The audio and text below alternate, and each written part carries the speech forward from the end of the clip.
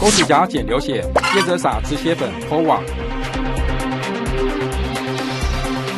动保团体指出，高雄一家宠物店业者为了证明自家止血粉效果佳，故意找一只狗将指甲剪到流血，再涂上止血粉，痛批业者为了行销产品虐待动物。有网友看了气愤地说：“么不剁自己的手，再用止血粉看看？”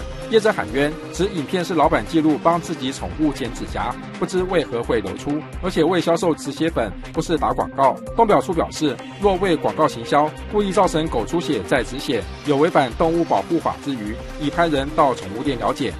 动新闻高雄报道。